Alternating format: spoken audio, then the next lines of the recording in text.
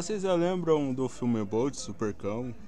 Hoje vamos lembrar essa incrível aventura canina da Disney.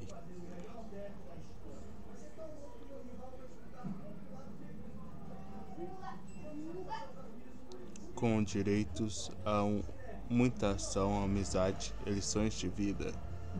Bold é uma animação da Disney lançada em 2008 dirigido por Chris Williams e Byron Howard. O filme conta a história de um cachorro que acredita ser um super-herói, mas acaba descobrindo a verdade sobre sua vida. Bud é um astro de um, uma série de TV em que ele possui superpoderes. O problema é ele acreditar que tudo na série é real. A relação dele entre Bond e Penny é, é como um cão está completamente imenso ao mundo fictivo de super-heróis. As gravações de Bond acabam acidentalmente sendo enviado para o mundo real, onde longe do estúdio Hollywood, ele acha que sua missão é resgatar Penny, que ele acredita estar em perigo. Enquanto viaja pelos Estados Unidos para salvar Penny, Bolt faz novos amigos como Mites e gatas, uma gata cínica e Rino, um hamster fantástico por seu som. Ao longo da jornada, Bolt começa a perceber que ele não tem superpoderes e que sua vida até então foi uma ilusão criada pela série. Bolt descobre o valor da amizade e da lealdade e aprende que ele não precisa de superpoderes para, um para ser um herói. Para Penny. Bolt foi o primeiro filme da Disney após a compra da Pixar, o que influenciou bastante o estilo de animação e narrativa. O filme começou com outro nome e direção. John Lester da Pixar foi quem supervisionou a mudança no projeto, trazendo melhor significativa. Bud foi um dos primeiros filmes da Disney a ser feito em 3D. Fa é, as inovações tecnológicas e o impacto da animação nesse período de transição. Bud foi inspirado em vários super-heróis caninos dos quadrinhos e filmes, nas, mas também teve influência de séries de TV é, de ação e espionagem. Elenco: as vozes de John Travolta como Bolt e Miley Cyrus como Penny. Hum, essas escolhas foram impactantes a popularidade do filme na época.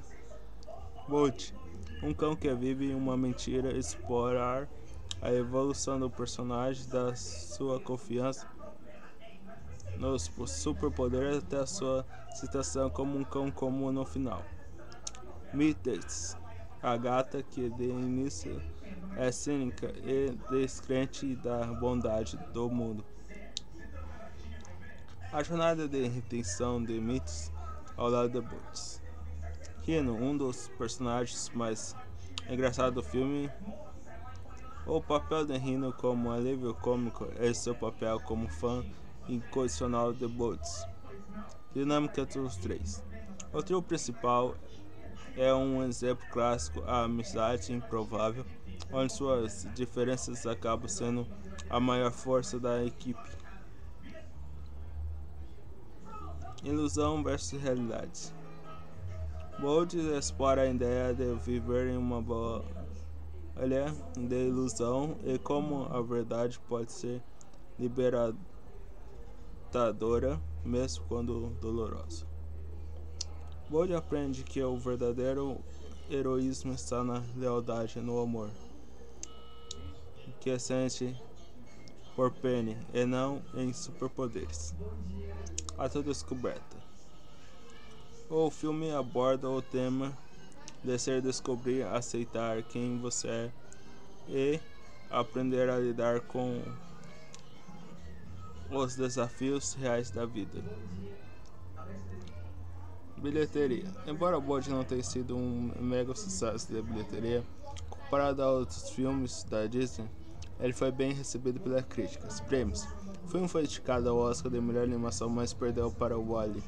Ainda assim, foi um do marco da transição da Disney para a animação 3D. Legado. Apesar de não ser tão lembrado como outros filmes da Disney, Bold continua a ter um lugar especial no coração de muitos fãs por sua história sincera e emocional. Possível sequência. Se já houve rumores sobre uma continuação, os spin-off, embora nada oficial tenha sido lançado. Fãs ainda especulam sobre o retorno de Bolt. Um, teorias que os fãs criam, como a ideia de que Bolt realmente tinha superpoderes no início e perdeu ao ser lançado no mundo real. Cultura pop. Ah, o Bolt em outros filmes, a série da Disney, além de como ele é lembrado em parques temáticos uh, e produto da marca. Então, pessoal, Bolt Supercão é mais do que apenas um filme de ação para crianças.